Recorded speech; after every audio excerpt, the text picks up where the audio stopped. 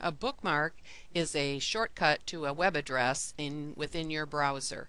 For example, up in the address line, I'll type in CNN and the CNN news page pops up. I'll go to bookmarks, click on that, bookmark this page. You will see here that I have the, the name of the address. If I want to change that, right now I can do that and just put CNN if I want. If I want to put another one, I'll go to the address and let's say I type in Fox News. If I could type it right.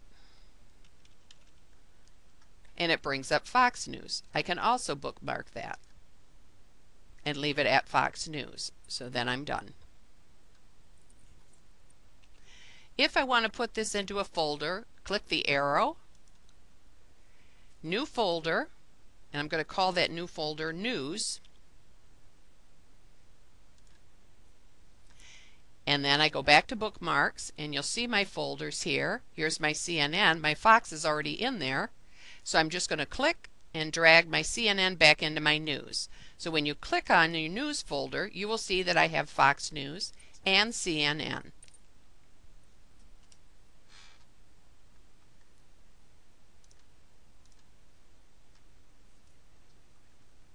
And that's how you create a bookmark.